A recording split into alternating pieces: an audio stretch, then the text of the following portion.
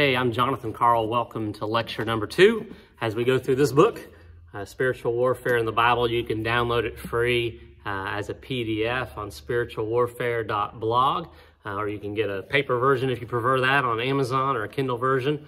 Um, but this is lecture two. The first lecture was looking at uh, who God is and who Satan is. And one thing we talked about is in warfare, you know, one of the things you learn is how to identify friend or foe. How do I identify uh, what the other uh, forces look like, how, what their abilities, capabilities are, what their strategies and tactics, and likewise, understanding what do our friends look like, what do, what what uh, what are their capabilities, abilities, uh, what's their nature, their strategies, their tactics, and so we started out looking at God and Satan. And if you haven't been through that video yet or looked at those scriptures, strongly encourage you uh, either read that in the book or on the website spiritualwarfare.blog. But for today, we're looking at angels and demons. This is lecture two. Angels and demons. We're going to look at their names, their abilities, their works, their character. What are they like? And so we know in the beginning, God created the heavens and the earth.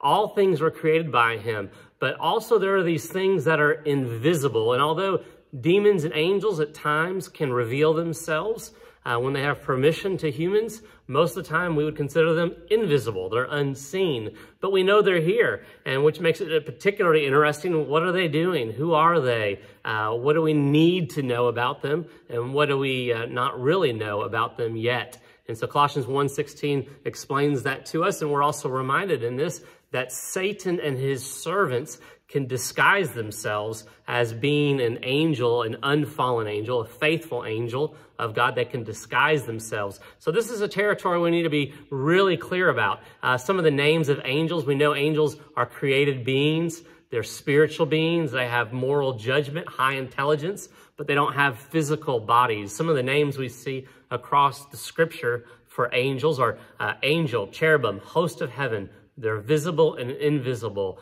thrones, dominions, rulers, authorities, holy ones, heavenly beings, living creatures, seraphim, sons of God, spirits, elemental spirits, ministering spirits, the seven spirits, those who are with us, and the watchers. And you might know some of those references or all of those references, but if not, uh, my encouragement would be for you to get into the scripture. Uh, those names and the specific references are both in this book, but also on spiritualwarfare.blog. There's two named angels. Do you know them?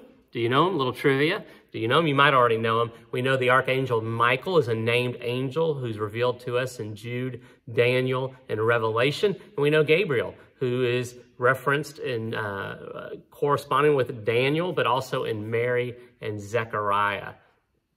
Uh, three cautions and warnings about angels. One, we need to know this. Satan disguises himself, I already mentioned it, as an unfallen angel to deceive us. So that's a big flag that God's raising to warn us that Satan will try to deceive us. Now we see this actually occurs in several faith groups. We see Mormonism has an angelic uh, narrative or story of Moroni appearing to Joseph Smith. We see Jehovah's Witnesses believe the Archangel Michael is a pre-incarnate Jesus. We see Islam has a tradition, a story of Gabriel or Jibril to Muhammad, Michael, Michael, and Raphael, Israfil, and Azrael um, they believe also in seven archangels. So we see uh, these breakoffs, these cults or sects of Christianity, and we see Islam, this world religion, have these narrations of angels um, that don't correspond with the biblical narrative. We also see this,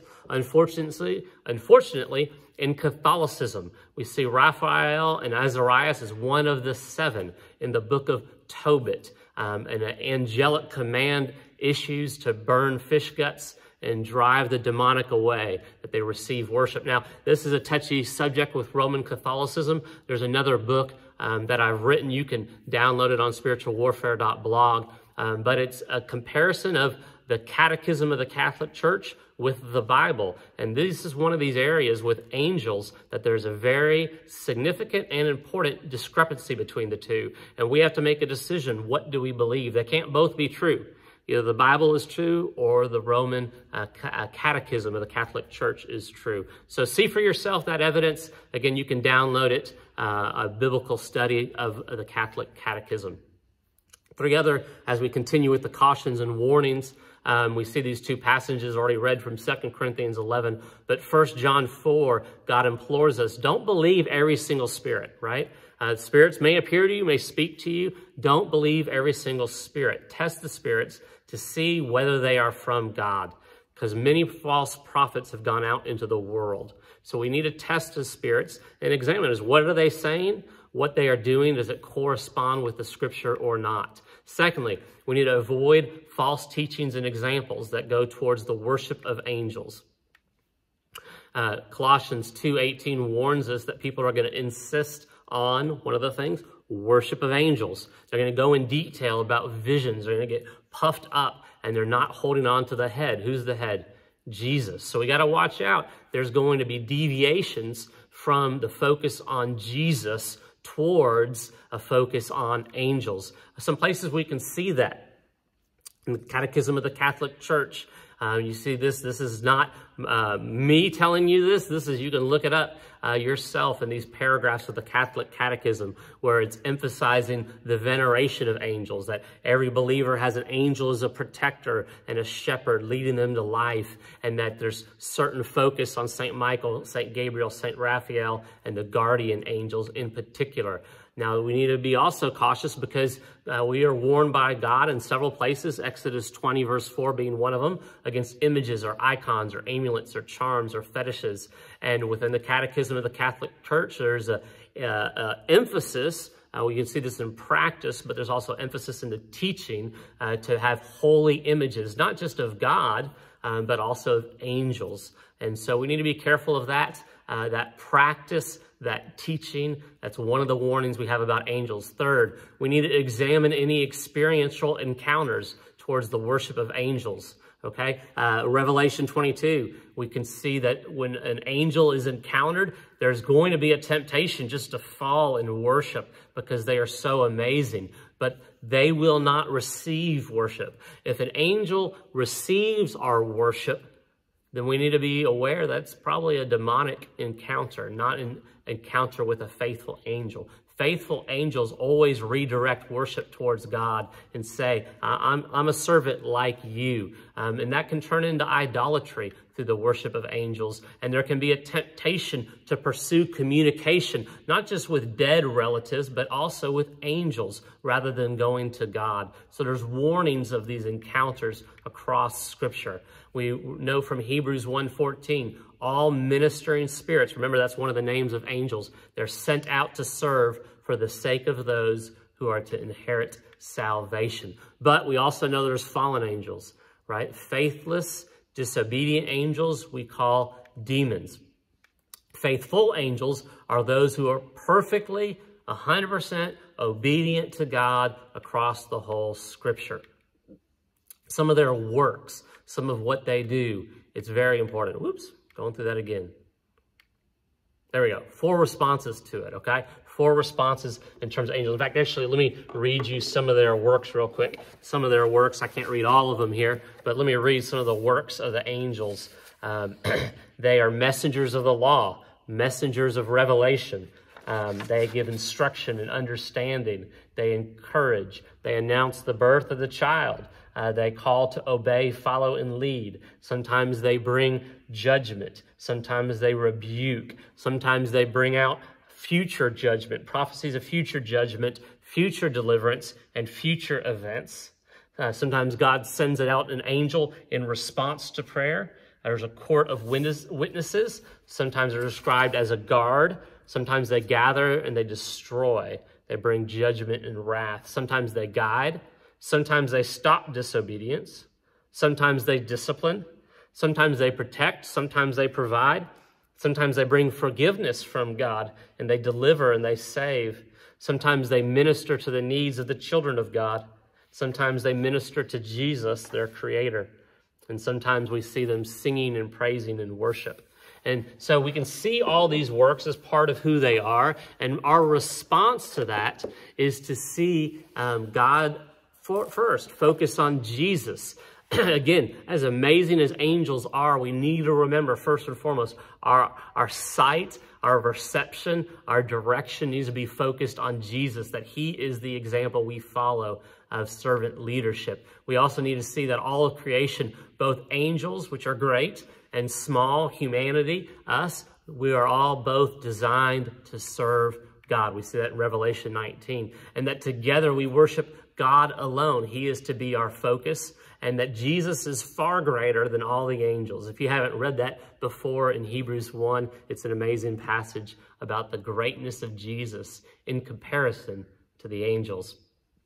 What about their character? We see that God sends out uh, his angels, that they are doing his bidding. I read some of the works of them, but here's some of their character, what they are like. They're created, but they're finite, they're limited, but they live eternally. They're righteous, they're perfectly obedient, they are strong, they are mighty, they are powerful. At one point, God sends out an angel to destroy 185,000 Assyrians. They can be intimidating, awe-inspiring. Sometimes they're seen, but sometimes they're unseen. They're numerous. They can appear physically as humans. They appear supernaturally at times. They can be seen sometimes by animals when they're not seen by humans. They can disappear supernaturally. They can fly. They can move in supernatural ways. They can interact with people and physical objects sometimes by touch. sometimes they interact with physical objects without touch. They can see, they're described as the watchers. They can hear, they can speak, they can communicate, sometimes directly and through dreams and visions. They can think, they can feel emotions of joy and praise. They always refuse worship and redirect all worship to God as fellow servants. They withhold their name when requested to honor the angel. They communicate their name at times. We talked about this with Gabriel and Michael. They provide supernaturally at times. They can sometimes eat, but sometimes instead of eating, they guide sacrifice towards God in worship. They can consume food with spontaneous fire. They can cause blindness, cause muteness. They can kill supernaturally, and they can bring forgiveness from God, and they can help and minister. So that's some of their character, what they're like, and their abilities. What about demons? What about fallen angels? Well, we see that they're connected directly with carved images and idols, and even those are though those are physical objects, um, that there is a direct demonic connection throughout the scripture to idols and carved images. Uh, they're deceitful spirits, they're demons, elementary principles, evil spirits, goat demons, lowercase gods that aren't really God. They are harmful spirits, host of heaven, lying spirit, spirit, spirit of the Antichrist, spirit of error, spirit of divination, unclean spirit, uh, and, um, oh, I missed the one, sons of God or the Nephilim. Now, one thing we need to be careful of, a lot of people with modern day, we'll talk about in another video, modern day approaches to spiritual warfare, they'll try to dialogue and converse with the demons to gain their name, as if knowing their name gives them special power or ability over the demons. Listen, the demons will take you down all kinds of rabbit trails that you don't need to follow. If they claim some sort of name or speak some sort of name, it doesn't matter. Don't follow their deceit. Uh, the, all the names we need to know of demons are given to us in the scripture. What about their works? Now we see there's a war going on. We see this in Revelation very uh, described very vividly. But what kind of works do they do? Well, let me read some of them to you. They battle against the faithful angels. they deceive and work through false prophets, false signs, false wonders. They desire attention and worship. They sometimes cause disease and sickness. They participate in part of divination and fortune telling. They do Satan's works. They oppose humanity. They accuse, they tempt, they dwell among humanity. They enslave. They flee from the Spirit of God. They indwell some unbelievers and their works, and they communicate with other demons, and they can harm and do harm human hosts. They rebel, they sin, they tempt towards pride, unrighteousness, and division. And at times they work through government leaders. The Bible tells us a whole lot about the work of demons. It also tells us a lot about the character of demons. So here's some of their abilities. Here's some of their characteristics. They are able to move and indwell humans. Sometimes we see multiple demons in one person. Sometimes they are seen in animals. And sometimes we see them communicate and work with other demons and harm their hosts. They are afraid of hell. They're afraid of the abyss. They're afraid of God. They recognize God. They are against God. They have angelic abilities. So when we read about the angels' abilities and their character, we have to remember demons are fallen angels. Uh, we don't want to speculate on what we don't know, but if faithful angels have certain abilities, it's likely that fallen angels have similar, have retained similar abilities as they serve and imitate Satan and his character. But they can't remove our salvation as Christians. They can't remove our salvation. They are powerful and strong, but they can't do that. They can't separate us from God's love. Uh, they cast out by Jesus from a distance with no particular phrase or command. Sometimes they're cast out by Jesus with a brief command of rebuke. They're described as deceivers, liars, insincere. There's degrees of wickedness among them. They desire worship. They're disguised. They're doomed. They enslave. They harass believers when they're allowed to. They harm human hosts. At times we see forcing people into fire and water, causing deafness and muteness, seizures. They harm non believers. They can see, speak, think, cause convulsions, scream loudly.